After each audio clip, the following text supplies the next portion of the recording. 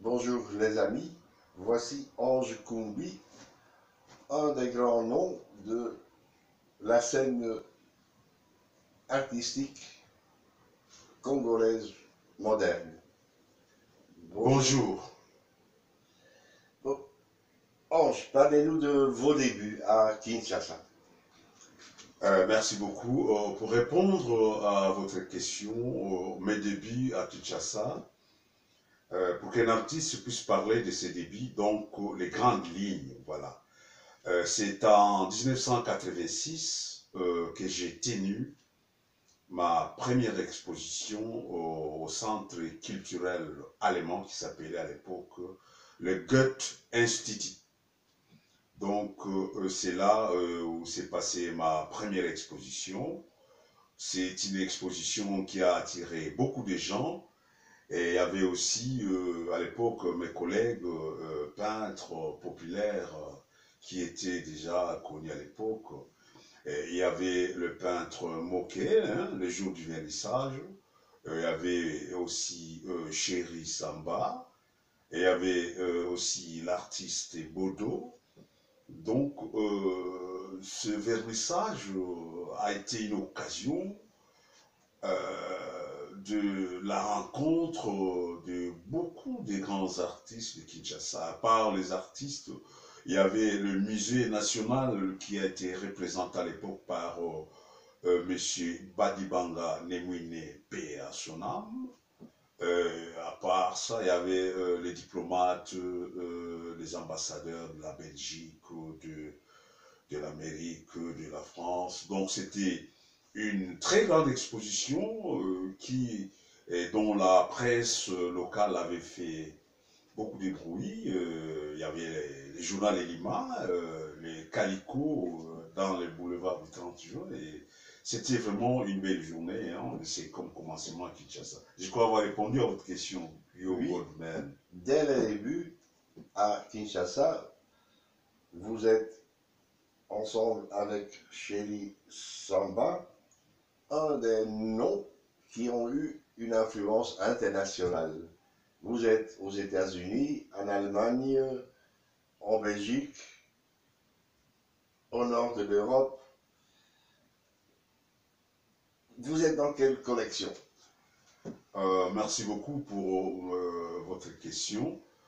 Euh, quand vous parlez de, de- des grandes collections, ici je, je vais d'abord euh, parler du musée d'art africain de New York, où je possède euh, un catalogue qui a été imprimé en 1999, euh, 99 comme disent les Français.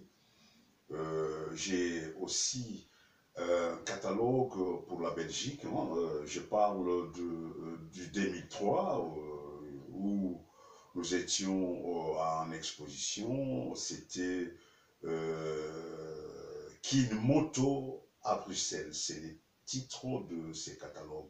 À part ça, il y a d'autres catalogues, par exemple le, le musée Volkskunde de, de Vienne en Autriche. Il y a en Finlande, il y a aussi un catalogue qui a été publié en 2000, Africa, euh, Africa Art euh. Et C'est comme ça euh, c'est intitulé catalogue.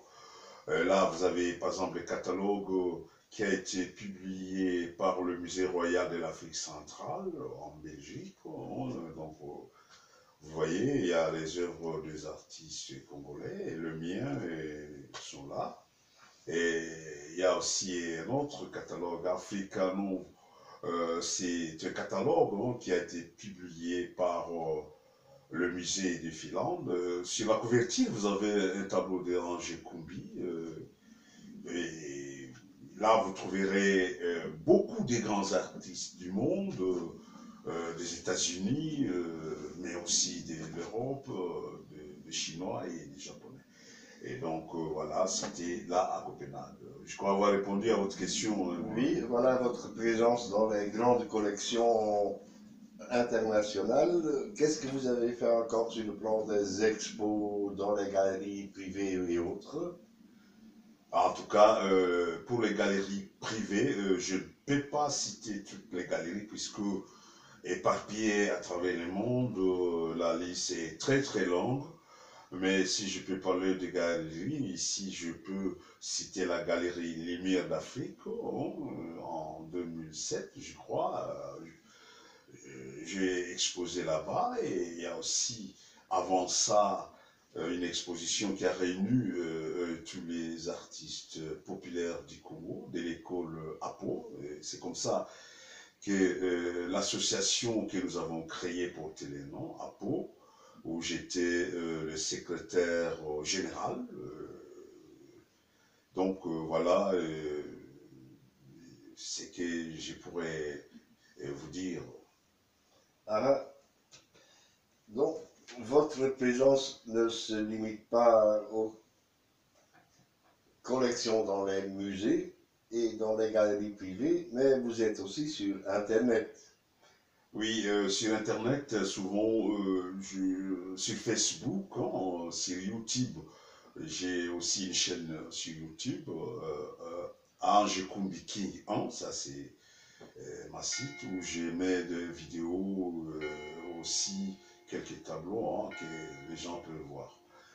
à part ça, il y a aussi la presse internationale dernièrement, d'ailleurs, euh, au mois de février, une exposition a eu lieu à, Namur, hein, ici en Belgique, au musée africain de Namur, où Colette Brackman, euh, que vous connaissez, a fait un article sur euh, l'art populaire, là où il a même donné une liste des artistes très connus en Europe.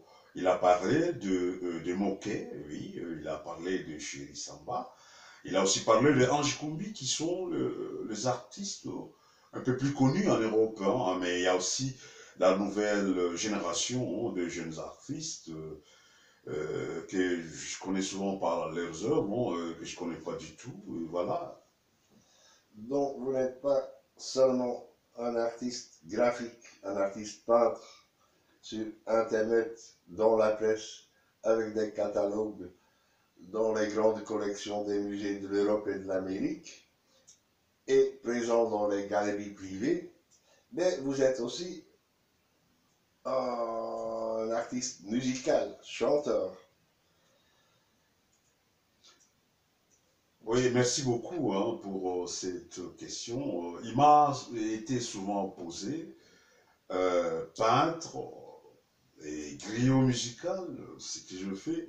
En effet, euh, souvent chez moi à l'atelier, euh, je ne manque pas, à part mon chevalet que j'utilise hein, comme mon instrument, euh, mais souvent j'ai aussi la guitare. Et avant 86, hein, à Kinshasa, un ami est venu me rendre visite à l'atelier. Il a trouvé dans mon atelier que j'avais une guitare et il m'a posé la question de savoir euh, qu'est fait cette guitare. Je dis, mais bon, des fois, vous savez, quand on peint les œuvres euh, souvent, des fois, on est un peu euh, euh, bloqué, on n'a plus de quoi faire. Et, c'était le moment où souvent que moi j'utilisais à jouer ma guitare et à faire des petites compositions traditionnelles que je chante. Et quand il a entendu ça, c'est l'ami, hein, Jean-Pierre, qui me disait, voilà, euh, quand vous avez exposition, il serait aussi important que vous puissiez euh, animer vos vernissages hein, avec vos chansons traditionnelles. Et c'est ce que j'ai commencé à faire. Donc, depuis là, c'est ce que j'ai fait quand il y a le vernissage. Je fais aussi ma, musique des griots. Mais à part ça, il y a aussi des invitations, des amis qui m'invitent des fois à, faire un peu une guitare avec des petites chansons traditionnelles hein, chez les cafés africains. Il y a aussi les milieux européens hein, qui m'invitent à agrémenter des dîners avec ma guitare. Voilà, je crois avoir répondu à votre question, Yo. Oui, donc vous êtes un grand artiste congolais.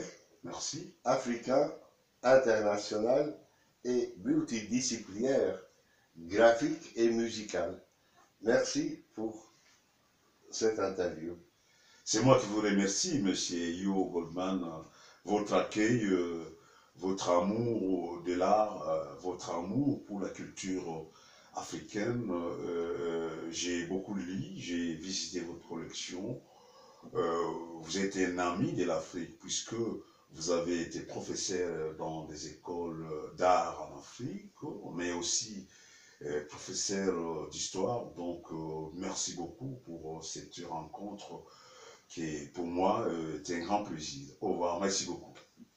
Merci.